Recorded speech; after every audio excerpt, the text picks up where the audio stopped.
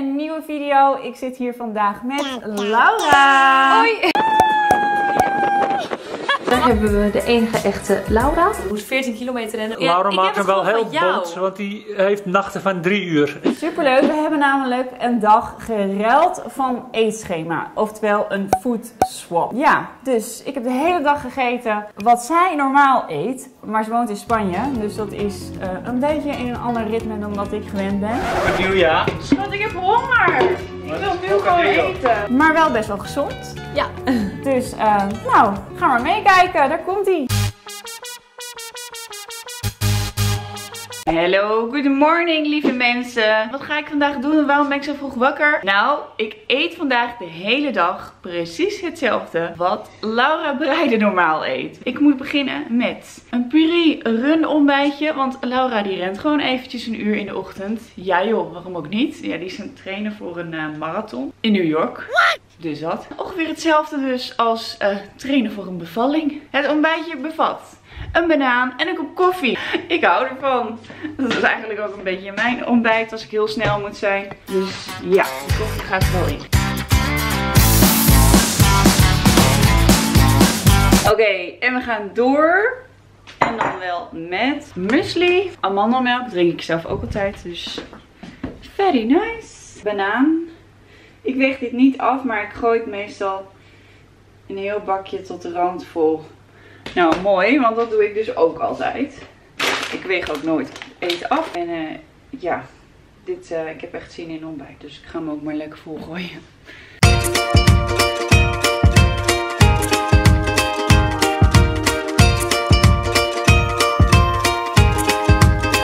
Ik heb wel een beetje moeite om het op te krijgen. En ik vind best wel zoet. Ik ben niet zo heel erg ehm zoete eter.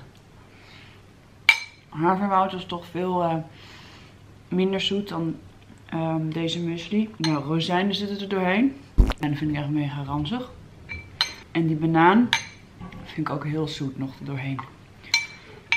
Zoete kou.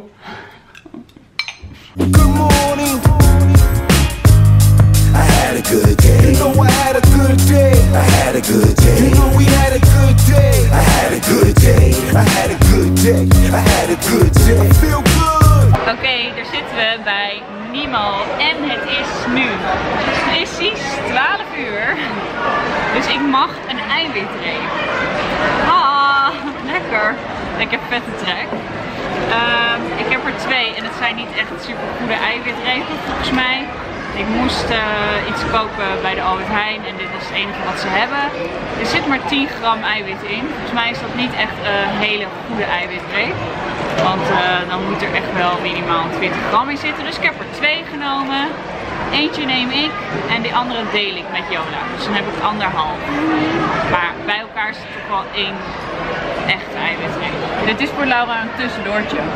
Maar voor ons voelt dit als middageten, omdat het middag is. Trouwens, ik mag een hapje, want ik mocht wel fruit tussendoor, zei ze.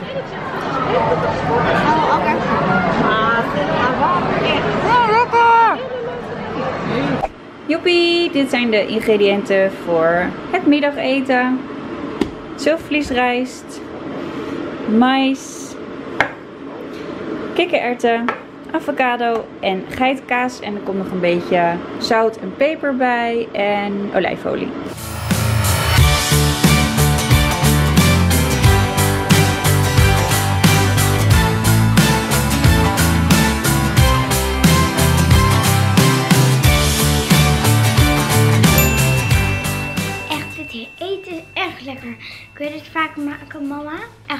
Lekker.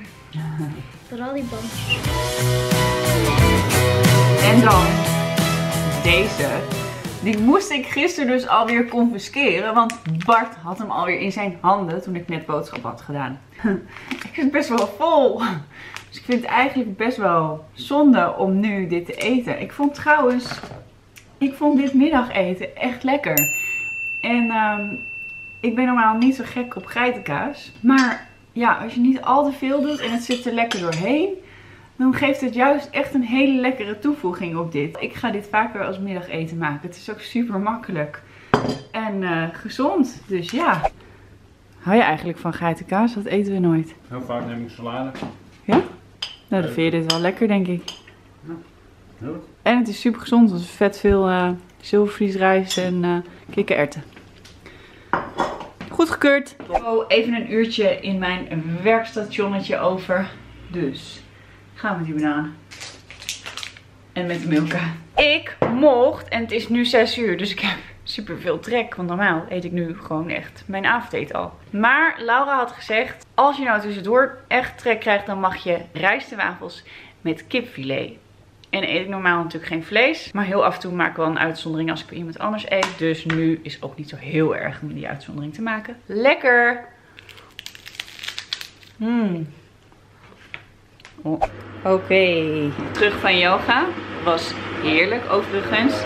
En dan nu het avondeten. Dit is het recept van Laura. Het ziet er heerlijk uit. Trouwens, toen wij in Spanje waren, hebben we dit ook echt. Ja, hij blijft gewoon doorpraten. Verdwijn. Eh, toen wij in Spanje waren, hebben we dit ook elke dag gegeten. En dan aten we bocadilla de tortilla, dus met eh, ei. Inmiddels eten we niet meer zoveel ei. Maar dat is heerlijk in Spanje. Smeer is het in met tomaat. Echt heel lekker, ja. Eh, rectificeer het even. Zeg- Nee, zeg- ik, zeg ik hele moet overnieuw. Bocadilla. Schat, ik heb honger. Ik wil nu gewoon eten. Oh, lekker. Laat dit er maar in. Dan zien de mensen thuis hoe je echt En dan eet. moet ik ook nog al die tomaten gaan snijden, gaan pellen. Ik Met bedoel- één hand, ja. Ja, Ja. wat moet hiermee gebeuren? Niet in de oven. Ja, goh, zou je iets kunnen doen? Moeilijk, hè?